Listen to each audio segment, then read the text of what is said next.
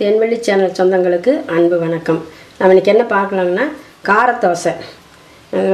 காரத்தோசைன்னு அப்போவே சொல்கிற மாதிரி நம்ம பருப்பு அரிசி ரெண்டு ஊற வச்சுட்டு நாலரை மணி நேரம் ஊற வச்சுட்டு அப்போவே ஆட்டி அப்போவே சொல்கிற மாதிரி நல்லா டேஸ்டானதாக ஒரு ரெசிபி நம்மளுக்கு இன்றைக்கி பார்க்கலாம்.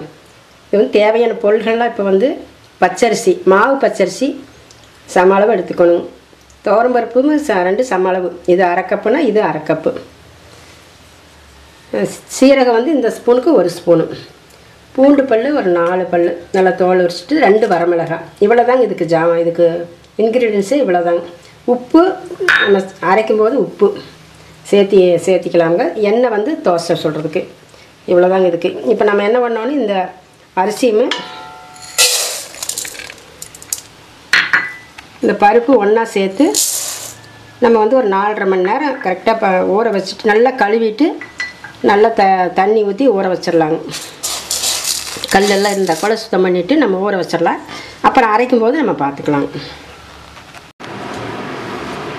இப்போ நம்ம ஊற வச்சது வந்து நாலு மணி நேரம் ஆச்சுங்க நாலு டு நாலரை அதுக்கு மேலே ஊற வேண்டியது இல்லைங்க இதுக்கு கொஞ்சம் தண்ணி சேர்த்து தேவையான அளவுக்கு தண்ணி சேர்த்து இந்த பூண்டு நம்ம எடுத்து வச்சுருக்கணுமில்ல பூண்டு வரமிளகா சீரகம். இவ்வளோதாங்க இருக்குது உப்பு கொஞ்சம் போட்டுக்கலாம். மாவில் கூட கொஞ்சம் அப்புறம் பார்த்துக்கலாம் பத்துலினா.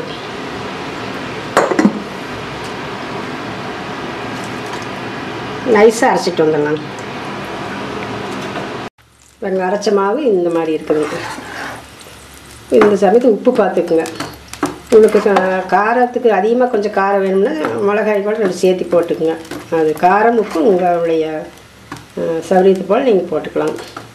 இப்போ வந்து தோசைக்கல் காயுதுங்க. நம்ம வந்து தோசை ஊற்றலாம் இப்போவே இப்போ தான் அரைச்சி இப்போவே நம்ம தோசை ஊற்றுறோம்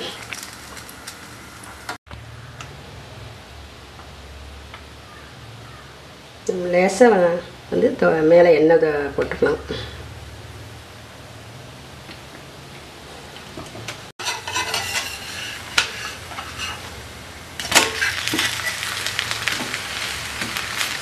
இப்போ இன்னொரு பக்கம் திருப்பி போட்டு இன்னொரு கொஞ்ச நேரம் வேகட்டும்.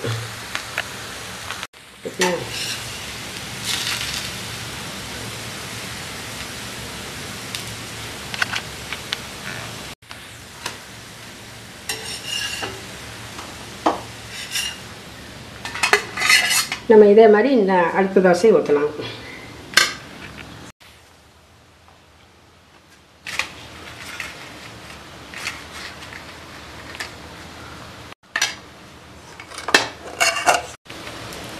நம்மளுக்கு வந்து எப் எவ்வளவு தேவையோ அந்த அளவுக்கு மட்டும் நம்ம வந்து அந்த பருப்பு அரிசி அளவாக ஊற வச்சுக்கணும்.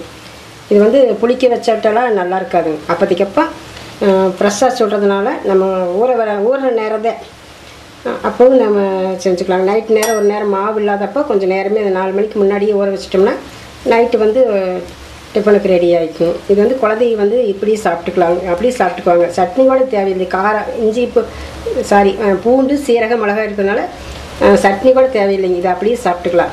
நீங்கள் ஒரு தடவை ட்ரை பண்ணி பாருங்கள் நல்லா டேஸ்ட்டாகவும் இருக்குது. நல்லா சாஃப்டாகவும் இருக்குது. ஒன்று சாப்பிடும்போது இன்னொரு தாஸ் சாப்பிடாம போல் இருக்குது அந்தளவுக்கு டேஸ்ட் இருக்குதுங்க அதனால உங்களுக்கு இந்த பதிவு. நீங்களும் இதே மாதிரி ட்ரை பண்ணி பாருங்கள் நம்ம வந்து நீ அடுத்த வீடியோவில் சந்திப்போம்.